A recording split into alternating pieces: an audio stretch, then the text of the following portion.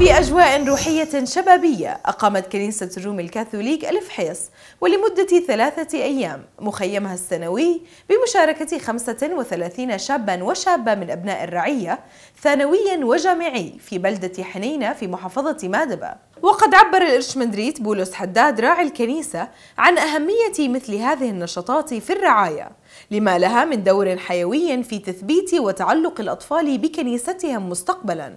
وقد تضمن هذا المخيم المميز الذي أشرفت عليه راهبات القديسة حنة العديد من الفقرات الدينية والترفيهية والثقافية.